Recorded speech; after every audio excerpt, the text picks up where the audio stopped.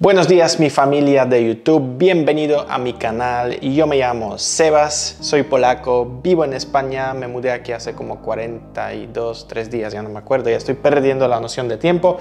Y en este canal, en este momento, estoy en un reto de crear una empresa nueva en España desde 0 a 10 mil euros mensuales en tan solo 90 días. Es un reto verdadero, pero lo que quiero lograr es enseñarte el proceso de la creación de una empresa desde cero hasta llegar a la meta, que son 10 mil euros mensuales. Y hoy te quiero hablar de cómo elegir un buen nombre para tu negocio. Así que empezamos.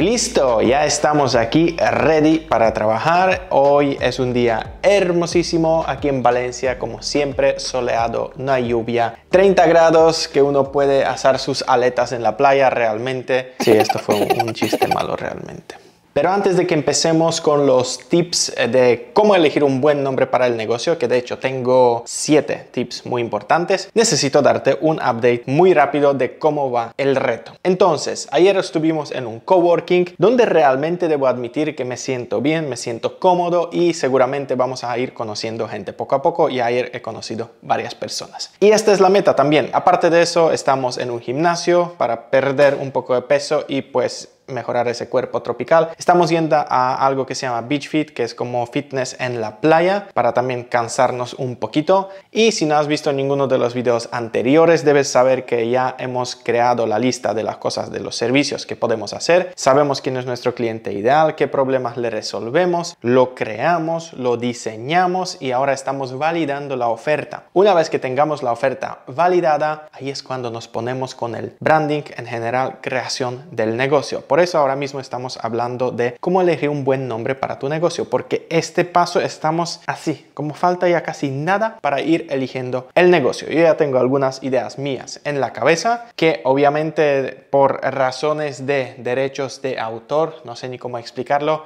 antes de que se registre la empresa, no puedo decir qué nombre va a tener la empresa, así que tendré que mantenerlo en el secreto hasta el día que tengamos la empresa y los dominios y todo lo demás registrado. Pero seguramente te lo voy a decir porque pues que, que lo veas, ¿no? Cómo es el resultado. Y bueno, hoy hablamos de 7 tips cómo elegir un buen nombre para tu negocio.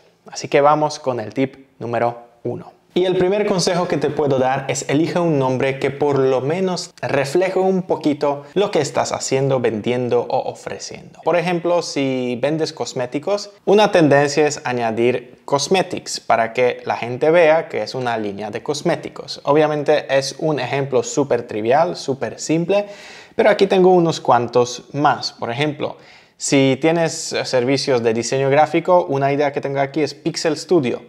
O si ofreces bisutería, puedes utilizar Liri Jewelry, que es una de mis clientes. De hecho, en inglés, eh, porque la empresa es de Gran Bretaña y se entiende de inmediato que lo que vende es bisutería. O Crearte, que es otro nombre que refleja que hay algo relacionado con el arte o el diseño.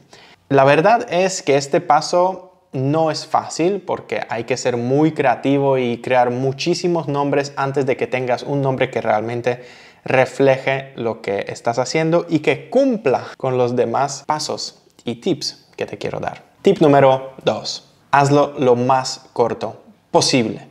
Yo sé, yo sé, me va a decir, pero ¿cómo? No tiene que ser único, tiene que ser eh, corto, tiene que reflejar lo que hago. No, ¿cómo lo voy a hacer? Lo sé, es un proceso largo y es un proceso complejo. Nadie ha dicho que esto va a ser fácil, pero queremos elegir un nombre bueno que por siempre te lo vas a quedar. Así que es bueno pasar ese tiempito ahora y elegirlo bien. Así que hazlo lo más corto posible porque a tus clientes les va a costar recordarse de los nombres que son más largos. Tip número 3 hazlo fácil de pronunciar. Uno de los grandes errores que hacemos nosotros los emprendedores es inventarnos nombres. Por ejemplo, tenemos una empresa en Latinoamérica y nos inventamos nombres en inglés. Esto estaría súper bien asumiendo que tu cliente habla perfecto inglés y sabe lo que significa la palabra y sabe cómo pronunciarla. Si no es así, no te inventes nombres de otros idiomas. Acuérdate que tu cliente querrá decir el nombre de tu empresa y sería bueno que sea fácil de pronunciar para, pues, primero, no cause confusión con tus clientes y no sea a veces vergonzoso, porque muchas veces tu cliente lo pronuncia mal, tú lo corriges y es una situación incómoda.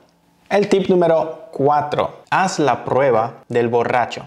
Y esto me encanta. Y se trata de hacer un ejercicio, o bueno, un ejercicio mental, imaginatorio, o realmente si quieres lo puedes hacer en la vida real. Imagínate que tienes un amigo que justamente está tomando y de repente te llama y dice, mira, he conocido una empresa, es increíble. Y ahora la idea es, este nombre de la empresa que este borrachito te ha dicho, deberías ser capaz de escribirlo o buscarlo por internet basándose solamente en lo que te dijo esta persona, obviamente hablando el idioma borracho. Así que trata de hacerlo tú. Si ya tienes algún nombre en la cabeza, imagínate que lo está diciendo una persona borracha. ¿Cómo lo va a decir? ¿Cómo lo va a pronunciar? Si el nombre se lee tal cual cómo se escribe. Si el nombre tiene, por ejemplo, palabras similares que pueden confundir a tu cliente o bueno, a la persona que le estás diciendo tu nombre, con esta prueba seguramente aprenderás todo esto.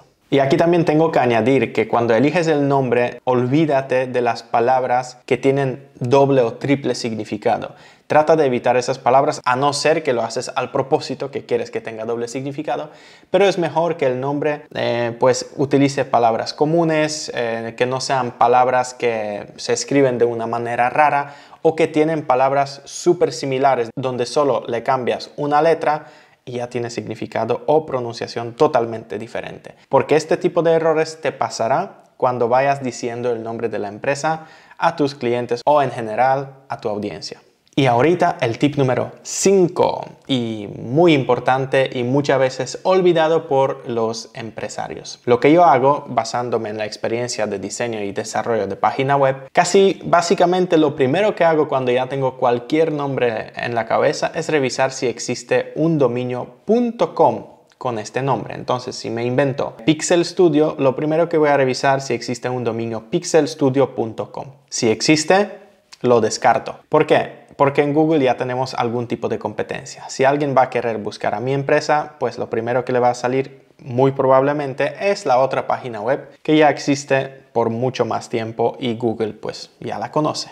Si quieres revisar si el dominio.com con tu nombre está disponible, te recomiendo utilizar pues, herramientas gratuitas eh, de cualquier vendedor de dominios, por ejemplo ovh.com o godaddy.com. También lo puedes revisar ahí. Y ahora, tip número 6. Revisa las redes sociales. Si ya sabes que tu dominio.com está disponible, ahora es el tiempo de revisar las redes sociales, porque queremos asegurarnos de que el nombre de la empresa que tenemos lo vamos a utilizar como usuario en todas las redes sociales. Por ejemplo, yo soy Seb Waligorski en todo Internet, donde me busques en LinkedIn, Facebook, Instagram, TikTok, Twitter, en mi página web, Medium, Calendly, por donde me busques, siempre aparezco como Seb Waligorski. Y si logras tener un nombre en todas las redes sociales y tu página web, estás a solo un pasito de una marca consistente. Y ahora el tip número 7 y el último que casi nadie lo hace, aunque debería ser uno de los primeros, revisa los resultados de Google. Ahora, hay muchos casos donde, por ejemplo, el dominio.com, las redes sociales, todo está disponible y tú ya estás, yeah, ya, ya puedo utilizar ese nombre. Después, buscas en Google los resultados y te aparece, por ejemplo, un producto o un servicio con el mismo nombre, pero bajo otra empresa. Vamos a decir que hay una empresa que vende 10 productos y uno de sus productos se llama tal cual como tú quieres llamar a tu empresa. Pero pues no le dio la gana de comprar el dominio, lo dejaron suelto, ahora lo tienes tú. Solo que si alguien va a buscar en Google el nombre de tu empresa, es muy posible que durante los primeros meses hasta que tú no te posiciones, pues muchos de los clientes aterrizarán en aquella página web viendo un producto que no tiene nada que ver con tu empresa. Y al revés, es posible que mucha gente va a buscar este producto y aterrizarán en tu página web. Así que esto puede crear algún tipo de confusión con tus clientes. Y es importante que te mencione que en muchísimos casos no podrás cumplir con todos los siete pasos. Y yo lo sé, es como que la guía perfecta para elegir un buen nombre de tu negocio. El mundo, y más que nada el Internet, o sea, el mundo digital, está tan saturado de nombres, de proyectos, de dominios, que es súper difícil ser muy original hoy en día e inventarse algo que ya no existe o alguien no ha tenido una idea similar para un nombre. Así que no te preocupes si no va a ser perfecto, pero sí debo admitirte que si no cumples con todos los siete, simplemente te va a costar un poquito o mucho, depende del caso, más trabajo en cuanto al posicionamiento de tu empresa, tu servicio o tu producto. Así que tienes que estar consciente de esto. Listo, ya tenemos los siete tips de cómo elegir un buen nombre para tu negocio, para tu emprendimiento. Espero que este video te haya sido útil. Si fue así, no te olvides, coméntamelo abajo. Si también tienes algunas preguntas, déjame las manitos para arriba y por supuesto, suscríbete a este canal porque se vienen muchos videos más. Aún solamente en este reto nos faltan casi 80 videos, creo que 77 videos aún. Y aparte de eso, seguiremos de largo con contenido muy valioso de emprendimiento y marketing y ventas en general. Porque lo quiero compartir todo gratis. Con toda la seguridad del mundo te puedo decir que nos vemos mañana. Chao.